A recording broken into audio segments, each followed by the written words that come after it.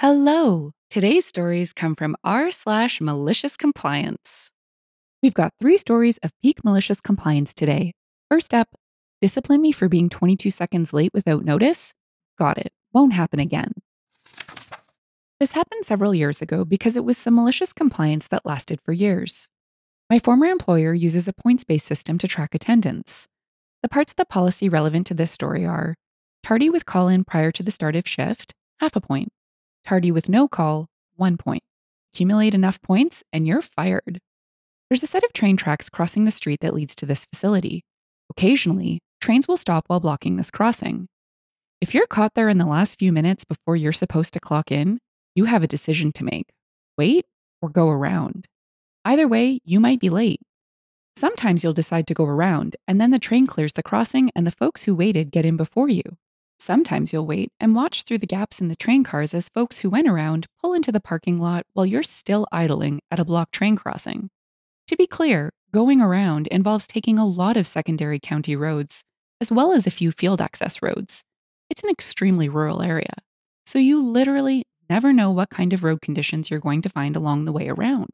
The roads may even be entirely unusable during the winter months where snow covers them. One night, during my years on third shift, I was stopped at these tracks and decided to wait. Eventually, the train moved on. I raced into the parking lot, used my keycard to zip through the turnstiles, and ran to the punch clock. My clock in time was 10:30 p.m.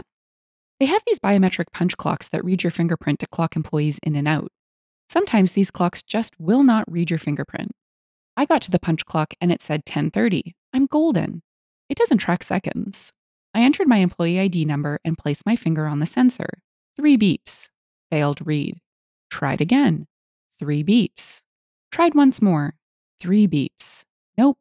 Not trying again because by this time the clock was likely to tick over to 1031 in the middle of reading my finger. When I got to my assigned work area, I told my team manager what happened. He said, Don't worry about it. He'd manually punch me in. I should have listened, but I'm a worrier.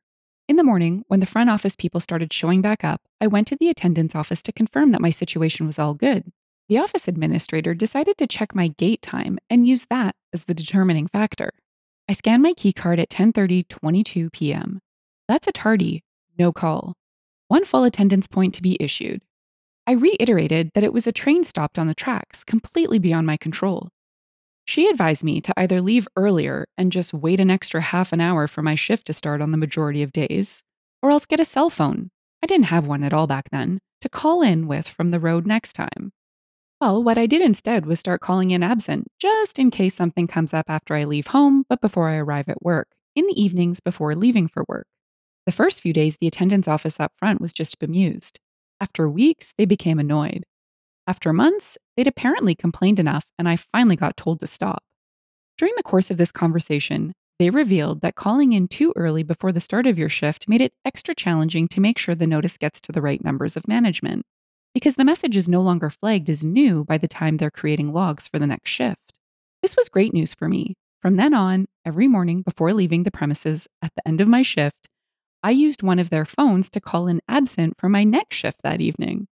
They tried to write me up for insubordination, but the labor union slapped it down, pointing out that the collective bargaining agreement specifies the time we must call in by, but does not specify a time before which call ins may not be made.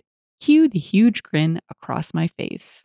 I never forgot that my team manager tried to do me a solid, though. If I was actually going to be late or absent for some reason, I would call that team manager's desk line directly to let them know. Even long after I finally got a cell phone, I continued doing this. I just call in on my way home instead of sticking around to use their phones after my shift. Found out years and years later from some union reps that upper management never got over this. Drove them nuts that they got beat at their own game by something so simple. It didn't bring the walls crumbling down, but it was a persistent, enduring source of frustration and impotence for them. And really, knowing you can manage all of that with just a 22 second phone call a day, that's the kind of thing that gets you out of bed in the evening. Edit. Probably the number one observation I'm seeing is that I should have just sucked it up and left for work earlier. I've commented this a couple times already, but so nobody has to dig for it. I usually left so early that I got to work before the 20 minutes prior to the start of our shifts that we were allowed to clock in. This stop train event was a rare and unpredictable exception. but the crossing was regularly blocked for a few to several minutes by a moving train, not to mention all the other random stuff that could come up on your way to work. 22 seconds, seriously? We all know it only matters when it's 22 seconds late and not 22 seconds extra work during a shift. Being on time for work is a totally reasonable ask, but to the second, come on. Let's check out the comments. There's a fun anecdote. Izzy the Pity said, I had a manager like this. I was outside hanging out before my shift. I think I still had like five minutes, and my manager sticks his head out the door, looks at me, and points at his watch. I knew I was not late because I synced my watch to the time clock. So I go about my day, and my shift is over. So I put my stuff down and walk over to the time clock. Manager says, Aren't you going to clean up? I just pointed at my watch and left. I didn't last long there. Adriana Starfish said, not only was it malicious, it was continuously malicious, which elevates it into the glorious category. That was a very satisfying read. Thank you for that. Someone replied, glorious, not delicious malicious. The bald said, gloriously delicious. Super Sarcosmic replied, it's deliciously malicious. Munch Kanita said, and now I crave Lucky Charms.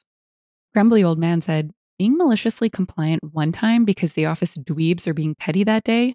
Fun being maliciously compliant for years after, even when they beg you to stop but aren't able to punish you for it, priceless.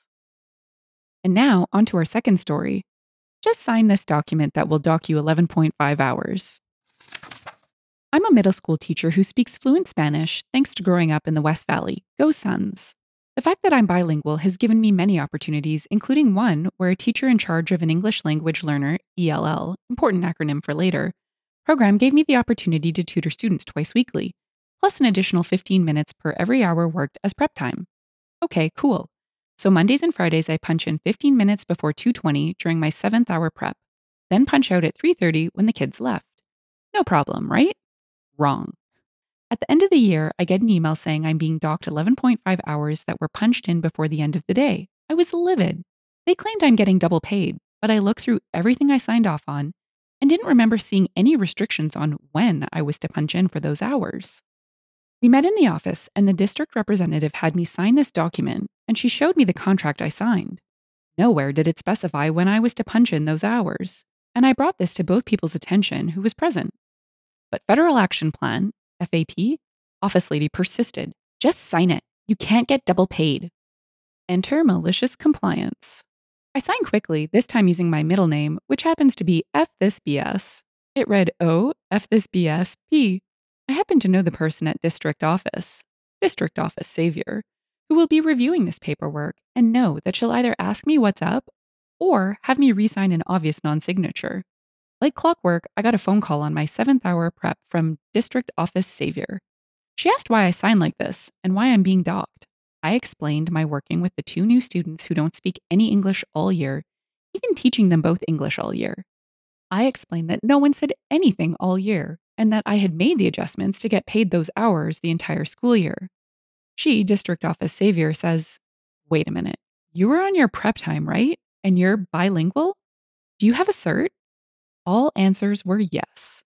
My next paycheck was $3,500 more than my standard paycheck coming out of the FAP ladies' budget for federal action plans. I was very confused at first. It appears that I can punch in during my contract hours if it is on my scheduled prep, and because I have an ELL endorsement, I got this endorsement working with monolingual students in the West Valley, and my direct supervisor on campus doesn't, I get paid as an ELL leader on campus. Quite the stipend.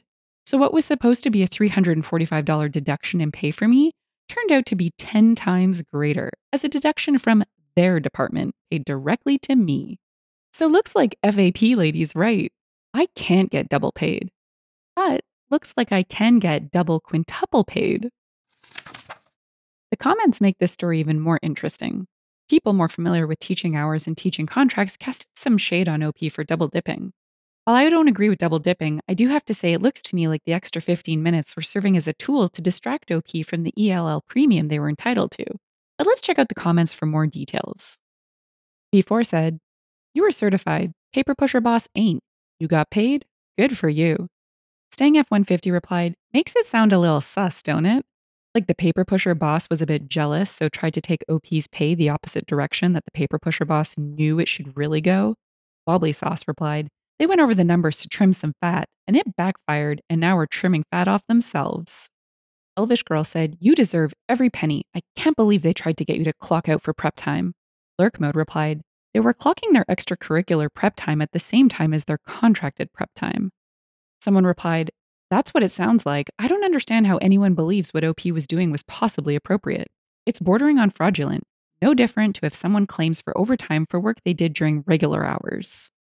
Now for our third story. It's the shortest, but possibly the most satisfying automated my useless boss out of her job.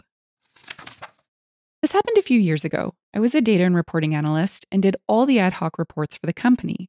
My boss, we'll call her Carrie, was a useless. She was one of those people that was always late, left early, and took days off at short notice. The only thing of value she did was all the regular reports sales, revenue, etc. We suspected she got away with it because she was having an affair with her boss. We'll call him Stuart. Our CEO was a fairly decent bloke. He'd look for ways to cut costs and would pay regular bonuses for the best cost saving initiatives. Carrie was very keen to submit ideas and encouraged us all to automate our tasks so she could try and take the credit for the savings. On one of her Skive hooky days, which coincidentally Stuart was sick as well, the CEO was desperate for the sales report my boss does. I said I'd give it a look and see if I could get it done. Normally, she'd spend two to three days doing it each week, but the CEO wanted it that afternoon. A quick inspection of the data showed it would quite easily be automated, so I knocked up the necessary script and got it over to the CEO, who was super impressed that not only had I got it done in a couple of hours, but also that it could be updated whenever he needed it. He asked if I could also look at the revenue, churn, and a couple of other reports. Over that afternoon, I automated everything my boss did. Both Carrie and Stuart were back in the next day, but were immediately summoned to the CEO's office before being suspended and sent home. Turns out the CEO knew they were having an affair, and all the times they were sick or late or had to leave early was so they could sneak off and hook up. He'd not done anything about it because how important these reports were. Now they were automated. He was able to get them suspended and later fired for gross misconduct for all the time they'd taken off. I also got a nice bonus out of it. What a delightful story. Let's jump into some fun comments before we wrap up. Someone commented, Go away, or I will replace you with a very small shell script. Wins at Nothing replied, If that's not an insult, I don't know what is. Someone else said, It's a threat. Hot Lava Tube said, I've got good news and bad news, CEO. The good news is I've automated the sales report and revenue report using bots. Bad news is the sales report bot is now having an affair with the revenue report bot. Freedom Booger said, Best part was the CEO recognized your work and gave you a bonus. Saved him a buttload of money for two employees. Top of the morning to you replied, Would be nice if companies actually gave bonuses anywhere close to the value of the savings. Even if he got like a $10,000 bonus, it's probably pennies compared to the hundreds of thousands of dollars saved from firing those two. Dumbledore's Army said, I once helped save my company approximately $4 million versus budget over a one month period daily deep reporting on wages throughout the peak trading period. And I got literally nothing. The following year, I'm not even sure I got a full 1% pay review. If you've enjoyed the story and would like to hear more, consider liking, subscribing, and leaving a comment. Thanks, and bye for now.